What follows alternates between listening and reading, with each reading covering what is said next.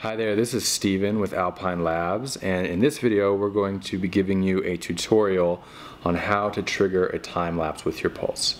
So you want to open up the app and then uh, in this case we're already connected to Pulse and then you want to select the third option down which says time lapse. From here you'll see the time lapse screen and there's a variety of parameters that you can adjust. The first one is interval and this determines the frequency at which Pulse triggers photos over the course of the time lapse. So you can set it from anywhere from one second to five seconds to up from there. And then the second parameter is duration, and this is the overall length of your time lapse. So with this, you can start from anywhere from one minute and up from there. In this case, we'll just do four minutes. And then based on those selections, uh, the bottom of the screen will show the calculation of how many photos will be taken over the course of the time lapse, as well as the overall length of the time lapse once it's compiled at a rate of 24 frames per second. So once you have all that set, you're ready to go and you can hit the start button. This will upload your time lapse settings to Pulse and then you'll get your status menu which will show the percentage of the time lapse that's already been done um, indicating the number of photos that have been taken as well as the amount of time that has elapsed over the course of the time lapse. And then from there, um, just one thing to note is that you can close out of the app, you can turn off your phone, whatever, it doesn't matter, your camera will still trigger the time lapse. It doesn't need to be connected to your phone during the course of that.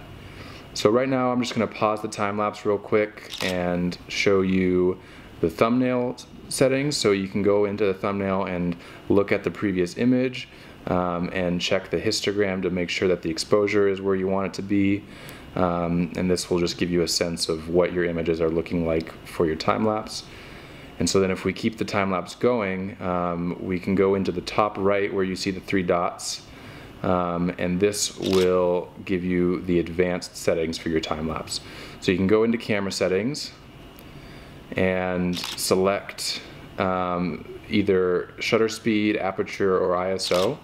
Um, and these can be adjusted during the course of the time lapse. So you can say uh, have a slower shutter speed if the lighting conditions are different, or you can change your aperture or ISO. Um, and once you have changed the settings, there's a button at the bottom that says Update Settings. And once you click that, uh, they will transfer over to your Pulse and this will update the settings in real time so that uh, your settings change during the course of the time lapse. Um, it might take a moment for those settings to adjust, um, but they should happen pretty quickly. So real quick, I'm gonna pause the time lapse and we're gonna go and show you the exposure ramping feature. So you can select exposure ramping and from here you can enable it with the, the button at the top and then there's a variety of parameters that you can select. So the first one is delay. And let's say you have an hour long time lapse that you're trying to trigger. You can change the start of the exposure ramping to begin at certain point through your time lapse. So you can, for example, adjust it to be five minutes into the time lapse or 10 minutes into the time lapse, um, or however long you want to wait for it to begin ramping the exposure and then you can set how long you want the exposure to ramp for. So if you have an hour long time lapse, you can have it ramp for 30 minutes and then it'll stop from there. This is great for a sunset or for an overnight shot or um, any condition where the lighting is changing over the course of the time lapse. And so then you can select the starting shutter speed, either a slow or a fast shutter speed, depending on which direction the light is, is going, either increasing or decreasing and then the ending shutter speed, um, and uh, and then also the beginning ISO, um, depending on what ISO your camera can shoot at, as well as the ending ISO, uh, anywhere from 100 up from there. So then at the bottom, you'll see um, it'll give you how many photos are going to be taken during the course of the time lapse, as well as the EV change over the course of the exposure ramp to tell you how, how much the lighting exposure is going to change. Um, and then you can go from there. Um, so if you if you if you use the exposure ramping feature, you just want to make sure that you have the appropriate settings that they don't conflict with your overall time lapse settings. Your app may come up with an error if you have the wrong ones.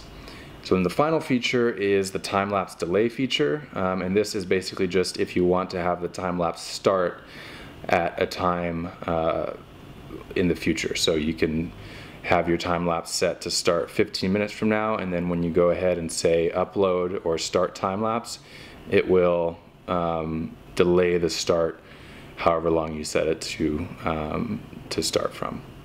So those are pretty much the features of, of the time lapse on Pulse. Um, we hope that you have a great time and have a lot of fun shooting time lapses with your Pulse.